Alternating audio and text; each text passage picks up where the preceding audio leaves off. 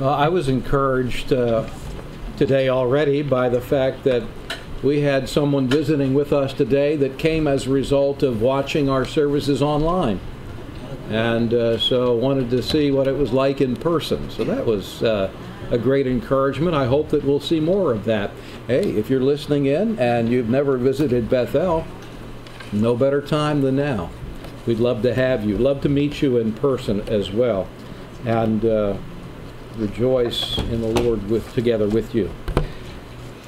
We're finishing up the book of Genesis. We've been doing Genesis for quite a few months now. We're in chapter 50, and we looked at it this morning, the 50th chapter. I want to focus in on just one verse. Let me remind you of a few things. You know, Joseph spent uh, uh much of his 20s in an Egyptian dungeon.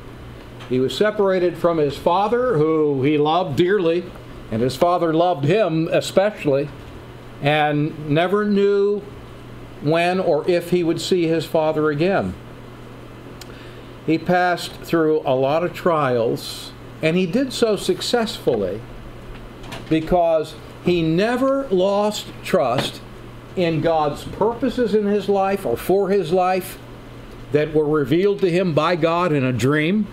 He never lost trust in God's purposes for his life, nor of God's goodness in his life.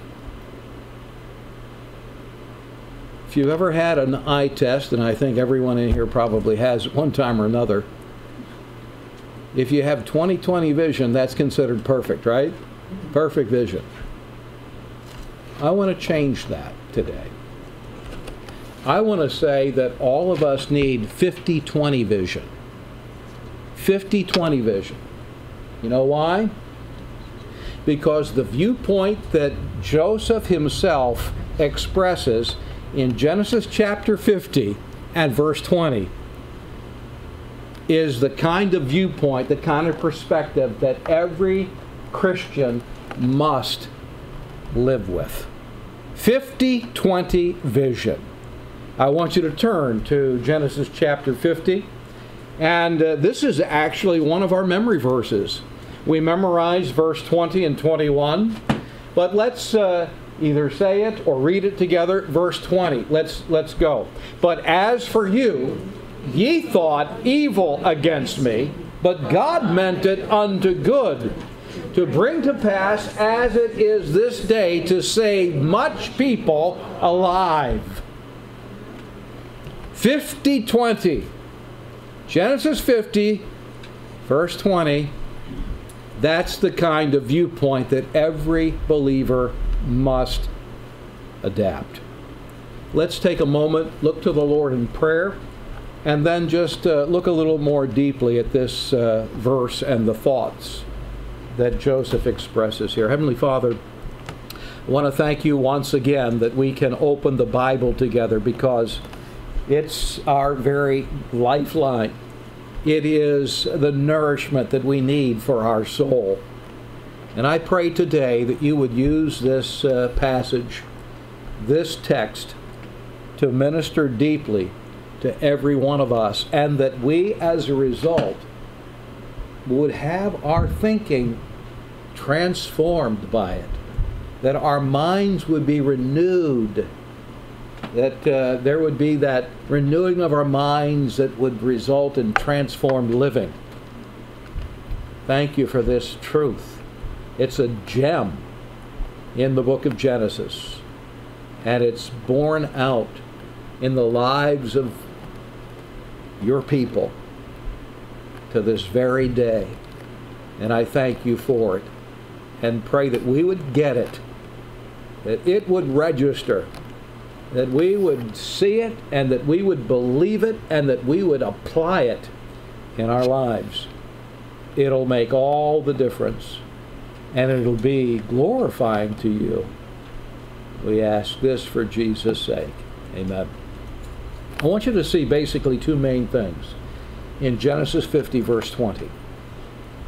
First of all, I want you to see circumstances, and that is caught up in that phrase, ye thought evil against me. Ye thought evil against me. That is all, that covers all the circumstances in Joseph's life. And then, secondly, I want you to see providences, circumstances, and then providences. Providences are in that phrase, but God meant it unto good.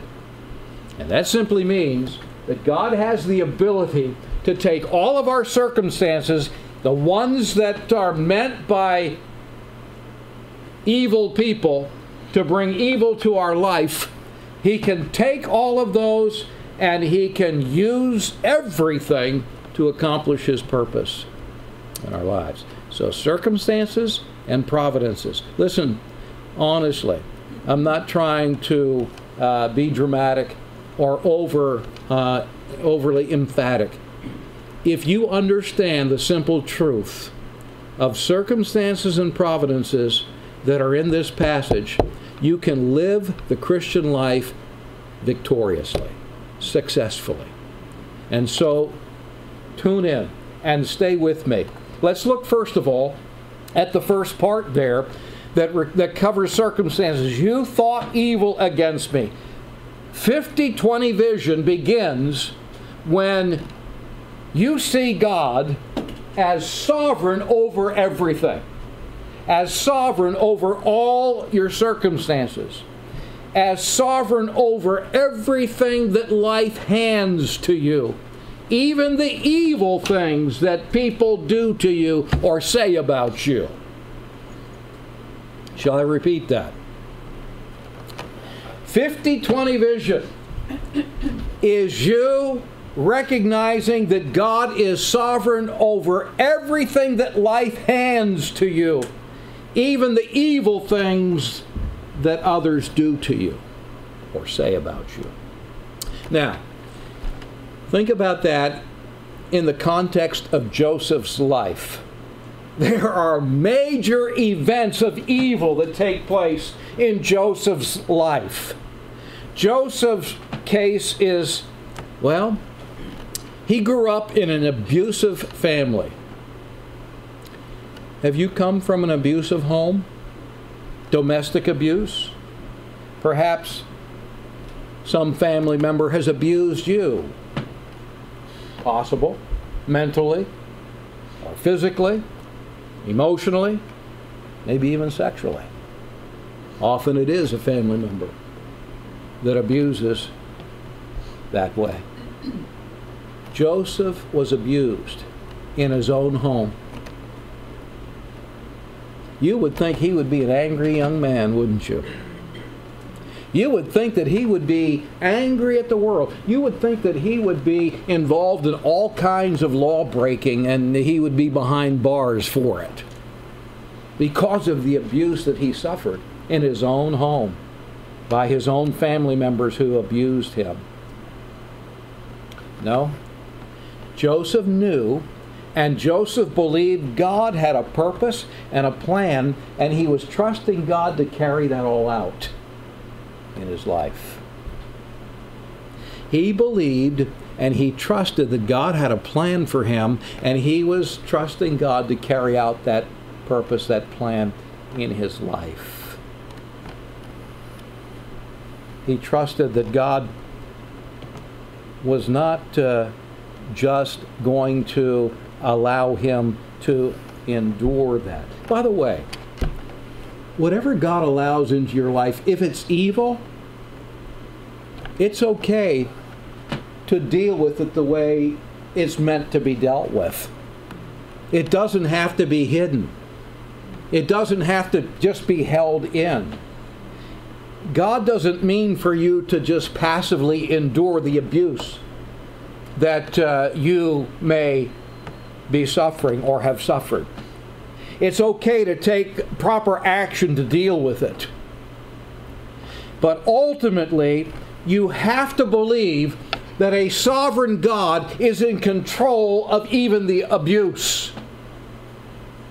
Think about Job for a moment put uh, Joseph aside, and think about Job. When you read the first chapter of Job, I mean, if you think about it, aren't you shocked Because really, here is a man that uh, we read about that is a good man. He has seven boys, he has three daughters, ten children in all. He is very wealthy in his day. He had 7,000 sheep. He had 3,000 camels. He had 500 teams of oxen. He had uh, donkeys, I think 700 uh, uh, female donkeys, something like that, 500. And he also had a lot of hired servants. He's a very wealthy man. In a matter of minutes, listen to me, this is true. In a matter of minutes, I don't know if it was even in an hour's time, maybe in a half an hour.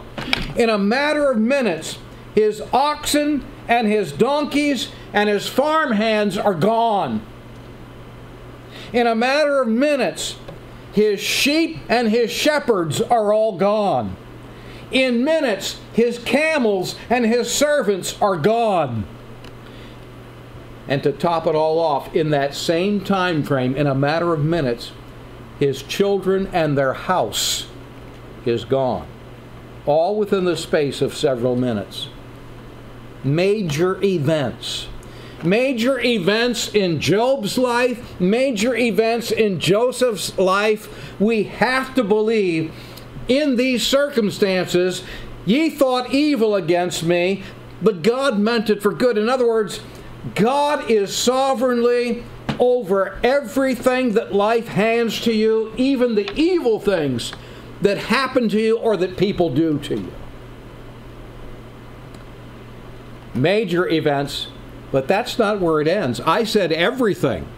God is over everything, not only the major events, but the minor happenings as well. You see, Joseph also realized that God was God was sovereignly in control of the seemingly insignificant things in his life.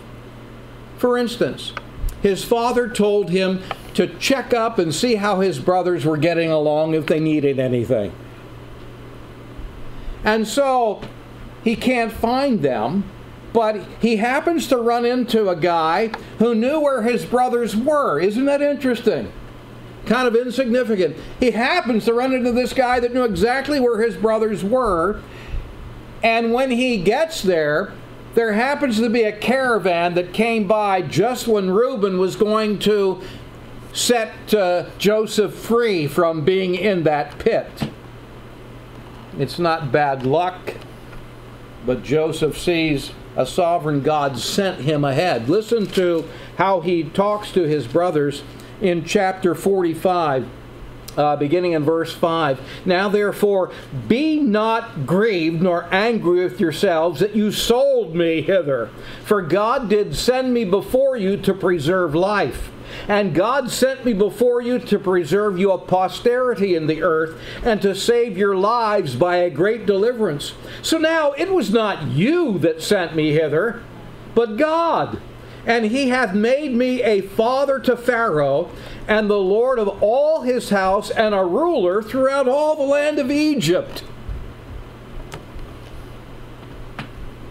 The mundane things of our daily life. God is in control of those circumstances, those minor happenings. For example, the car problem when the battery's dead, or the traffic jam that you're stuck in trying to get home after a long, hard work day, or the interruptions in your busy schedule when you got to get things done, or the clogged drain uh, in your bathroom sink, or your sick family members that seem to be not getting better but getting worse, or a number of frustrating circumstances that uh, you face, or whatever, the bad things that other people say about you or even do to you. It's all permitted by God into your life. I read a preacher who said, The devil couldn't have touched one single hair on Job's camel without God's permission. Circumstances, the major events or the minor happenings, Ye thought evil against me, he says to his brothers. 50 20 vision begins by recognizing that God is sovereign over everything that life hands to you, even the evil things that people do to you. Do you understand that? Do we get that? That's point number one circumstances. But thankfully, it doesn't end with that. It doesn't end there. Second point providences. But God meant it unto good. 50 20 vision continues. 50 20 vision is not only recognizing that God is sovereign over everything that life hands to you, even the evil things that people do to you, but 50 20 vision also realizes and recognizes that God sovereignly uses everything that touches you to accomplish His purpose in you so that He can accomplish His purposes through you. He can't accomplish anything through you until, first of all, He accomplishes what is needful in you. So instead of complaining, we ought to really thank God because He is making us more and more useful through His providences. God sovereignly uses everything that touches you to accomplish His purpose in you and through you. You have to believe that God is good. Ye, me, ye, how does he say that in verse 20 again? Yeah. You thought, you thought evil against me, but God meant it unto good. You have to believe that God is good and he means everything that he allows into your life, even the bad things that people do to you or say about you, he means it for good. You say, How can good come out of it? Don't worry about that right now. Just believe that he means it unto good. You must believe that in all that God allows into your life, God always is only good. 50-20 of Genesis is paralleled by 828 of Romans. 50-20 of Genesis is the Romans 828 of the Old Testament of the Tanakh. It really is. And we know, Romans 8:28, that all things work together for good to them that love God, to them who are the called according to his purpose. Jeremiah 29 and verse 11. He says, You, you know the thoughts that I have for you thoughts of peace and a good end. That's God's thoughts. Listen to this. This is uh, the psalmist in Psalm 119, and I love these verses as well. Verse 67 the psalmist says, Before I was afflicted, I went astray, but now I kept thy word. He says in the next verse, Thou art good and doest good. Teach me thy statutes. He says in verse 75, I know, O Lord, that thy judgments are right, and that thou in faithfulness hath afflicted me. God is always only good.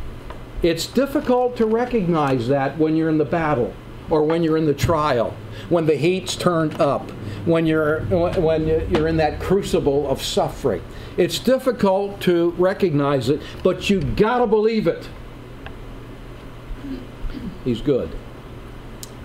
Elisabeth Elliot, whose first husband was assassinated, murdered, uh, martyred by those savage tribesmen that he and his partners were trying to reach with the gospel. Married again later on, and her second husband died of cancer. Here's what she wrote quote, The experiences of my life are not such that I could infer from them that God is good, gracious, and merciful necessarily. To have had one husband murdered and another to disintegrate body, soul, and spirit through cancer is not what you'd call proof of the love of God. In fact, there are many times when it looks like just the opposite. My belief in the love of God is not by inference or instinct, it is by faith. Spoken by a woman who's now with the Lord, but a woman that had standing to say something like this. It may not look like God's being good to you or to your family, but He is. It didn't look that way in Joseph's life. It didn't look that way in Job's life. But look at how it ended up. You must look at your circumstances through providences, and you must see that God is sovereign over everything that touches your life to use it to create His purpose in you so He can carry out His purposes through you. In 1895, Andrew Murray, who was a South African pastor, was in England because he was suffering from a terrible, uh, terribly painful back that was the result of an injury that had happened years before. And one morning, while he was yet in his room eating his breakfast, the hostess where he was staying uh, told him of a woman that was downstairs. It was in great trouble and wanted to know if Murray had any advice that she could give to the to this woman for him. And Murray instantly handed over a piece of paper that he had been writing on, and he said, uh, "Just give her this advice. I'm writing it down for myself. It may be that she'll find it helpful too." This is what it, he had written. I'm quoting. In time of trouble, say, first, he brought me here. It is by His will that I'm in this tight place. In that I'll rest. Next, He'll keep me here in His love and give me grace in this trial to behave as His child. Then, say, He'll make the trial blessing and He'll teach me lessons He intends me to learn and work in me the grace He means to bestow. And last, say, in His good time, He can bring me out again. How and when, He knows. Therefore, say, I am here by God's appointment, in His keeping, under His training, for His time. It's great advice. Believe God's good. Only always, all the time. Secondly, you must avail yourself of God's grace. You must take His grace. And there are two steps, I think. There are two steps to be taken that will enable you to trust God's sovereign goodness in everything. Number one, enlightenment enlightenment. And what I mean is, trusting God is a mindset, it is a God centered way of thinking. And only by regularly renewing your mind through the shining of the Holy Spirit of His Bible truth in your heart can you be enlightened to trust Him. For example, the book of Second Corinthians in the first chapter. Paul says something like this. He says, You know what? He said, God has given me more than I can handle. God has deliberately piled more on my plate than I can take. He said, In fact, I and my teammates, we've despaired of death. We feel like we're not going to make it, we're going to die. And then he tells us why God did that. Why does God give us more than we can handle? That we would learn not to trust in the Lord, uh, that we would learn rather not to trust in ourselves, but in the Lord that raises the dead. raises the dead,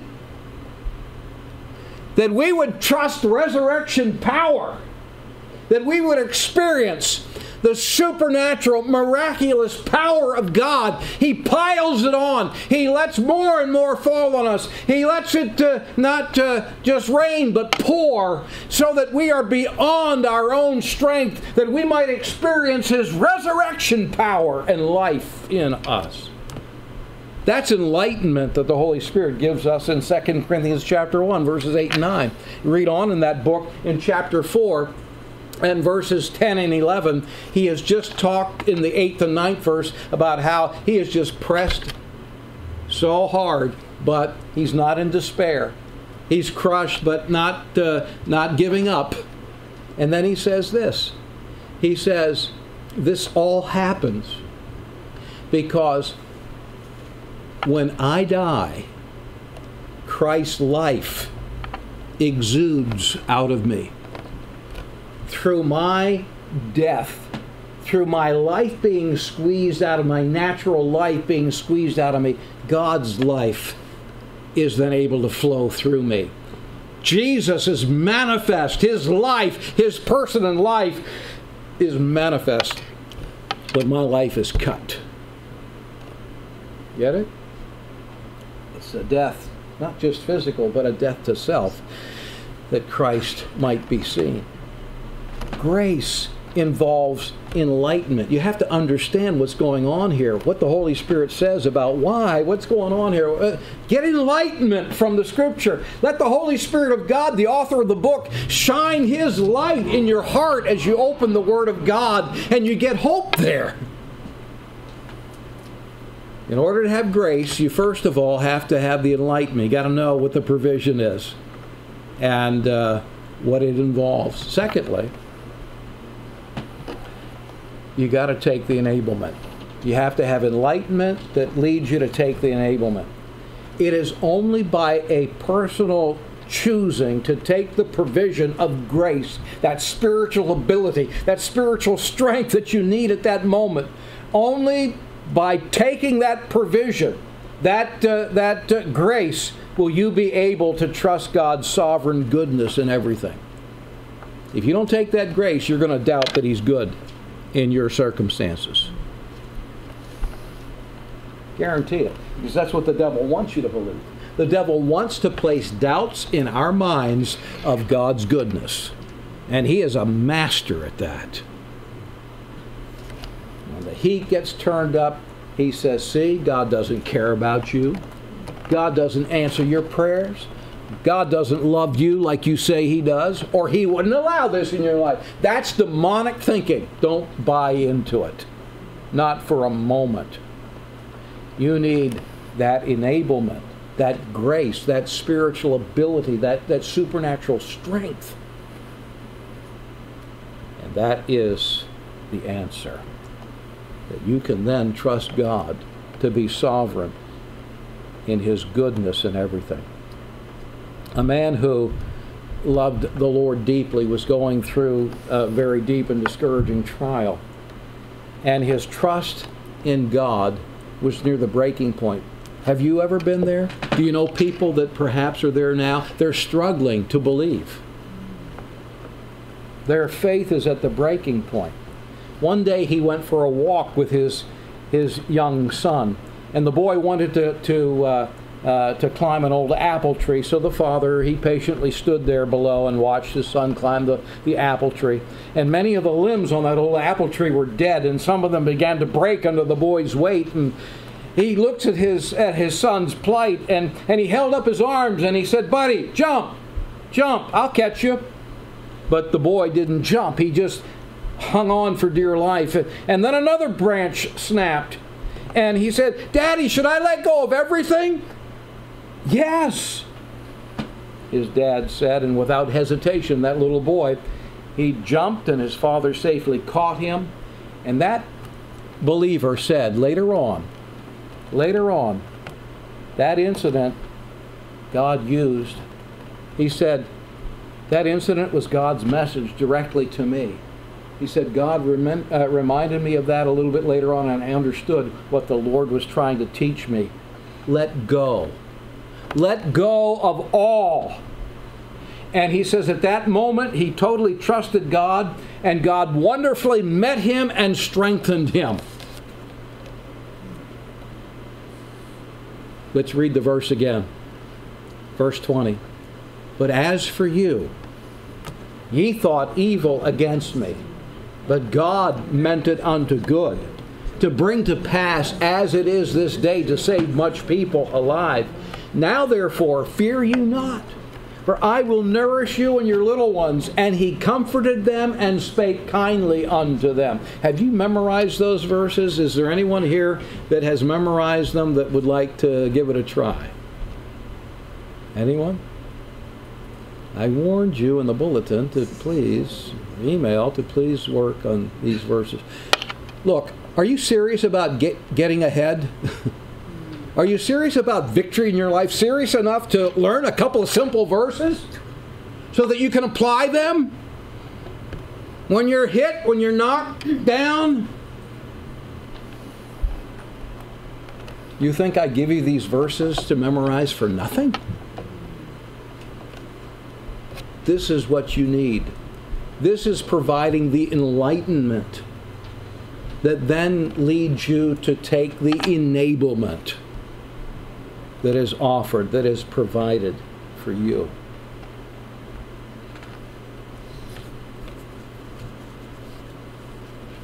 Let's have a word of prayer. Heavenly Father, I want to thank you once again this afternoon for the opportunity that we have had to just think about the truths. All the circumstances that are allowed into our life, you are sovereignly in control of them. And because of that, you use them to carry out your purpose in us so that you can carry out your purpose through us. Remind us of that as we pass through the waters as we pass through the fire, as we enter and go through our trials. Lord, let us see it with 50 20 vision. You meant it for evil, God meant it for good. Seal that now in our thinking, in our hearts that we never forget it, that we're reminded of it. In Jesus' name.